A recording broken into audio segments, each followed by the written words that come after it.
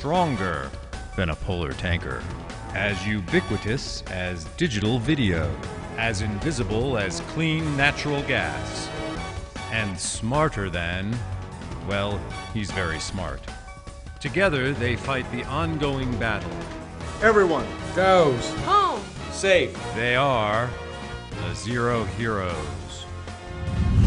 This episode Lotto, It's Not a Game.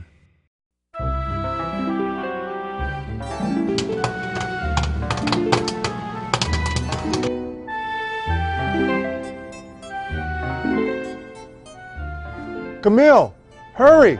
Lotto quiz is about to start.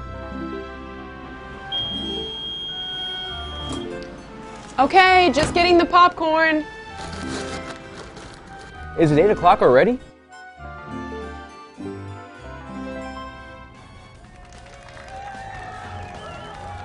Oh, popcorn. Thanks, Camille.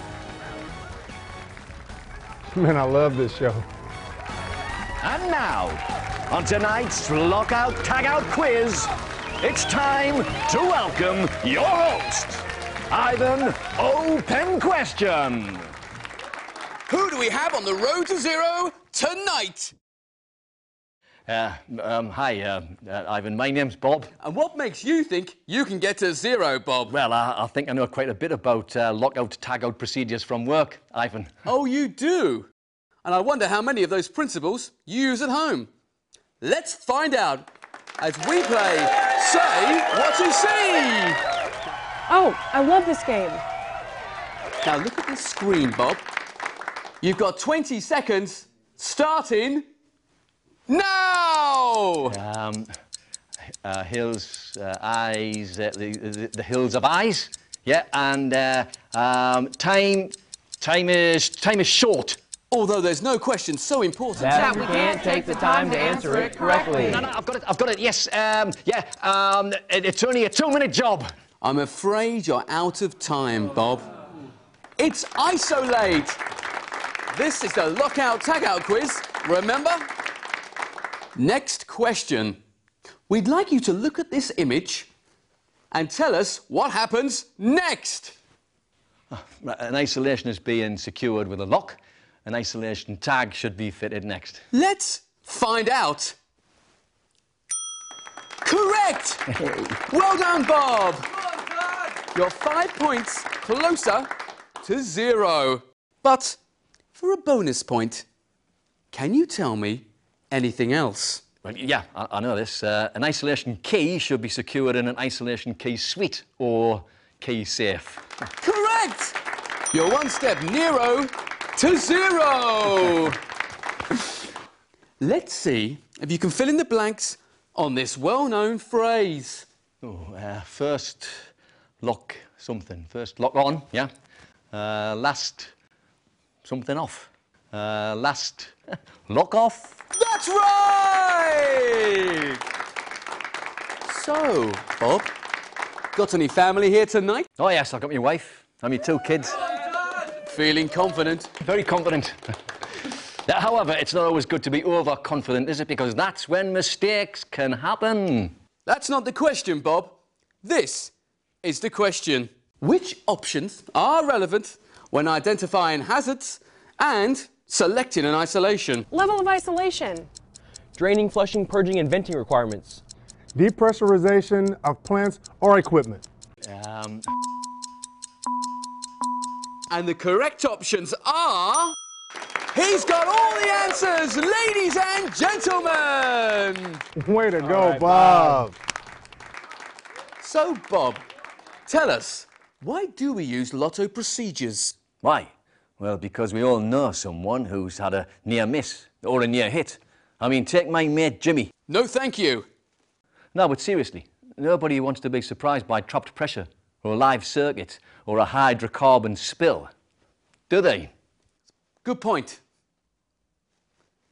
Take a look at this. What has to happen before this equipment is returned to service? Well, the isolations need to be removed and then the whole thing needs to be tested.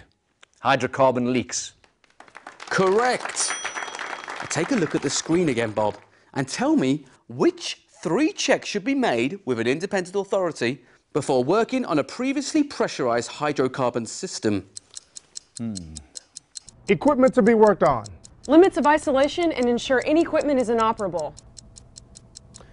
The equipment is fully depressurized, drained, and safe to work on. It's definitely one and two. I'm not sure about this one. Time is ticking. Two out of three ain't bad. But he should know that. Now let's look at the scores on Bob's journey to zero.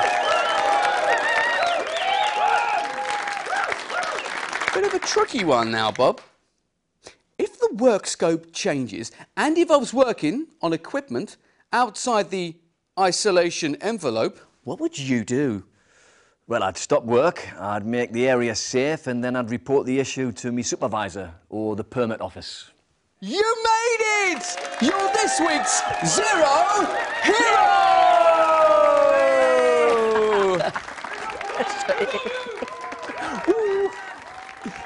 Yes! And the prize? No incident, no injury, no harm to the environment. But I do have one final question, Bob. Is this your home? Yeah? Well, we've been up your stairs, and this is what we found your toaster, your light bulb,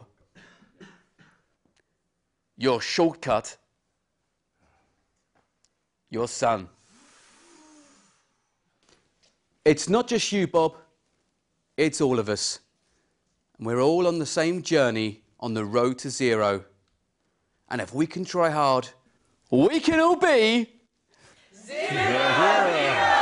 If you see it, You own it. how do we get there? Know your own limits.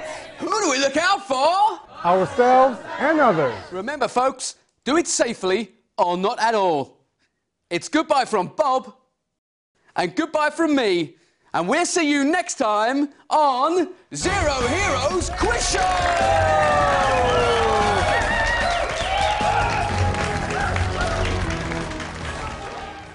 Hello, my name is Paul Warwick. I'm the president for the UK and Africa for ConocoPhillips. Now, lockout tagout is uh, one of the major procedures that we use to protect ourselves within the hydrocarbon industry. I think it's important for us to think about positive isolations. It's important for us to understand that the hydrocarbon system doesn't have any residual pressure within it. It's important for us to understand that the electrical systems are dead. It's not just a procedure that we apply and we read and we say that it's all okay because somebody else may have assured us that the isolations are all right. If we want to work on things, we should check that the system's not under pressure, that the electrical systems are not live. Make sure that they're checked dead. Make sure that the motor over there doesn't start because somebody hasn't properly isolated it. I think if we apply lockout tagout in its fullest sense and really think through and plan our activities, including the startup of the system, understanding potential leak paths, understanding what can go wrong when we start up as well, we can operate in this inherently unsafe business in a very safe way, protect ourselves, protect our workmates, and ensure that we don't have incidents and injuries within our company. Thank you. Everyone goes. Home. Safe. Always operate within design or environmental limits. You have the authority to stop unsafe work. You see it. You own it. Take action. Always assess the risk of each job. They are the Zero Heroes.